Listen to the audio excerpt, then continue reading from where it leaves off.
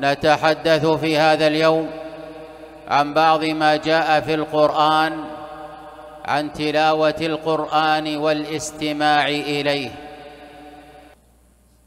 إذا استمعت إلى القرآن فليكن قلبك حاضرا مع عدم حركة جوارحك فإن في ذلك نفعا لقلبك.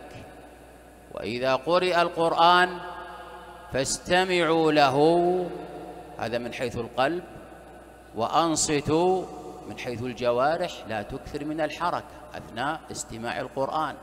وإذا قرئ القرآن فاستمعوا له وأنصتوا لعلكم ترحمون.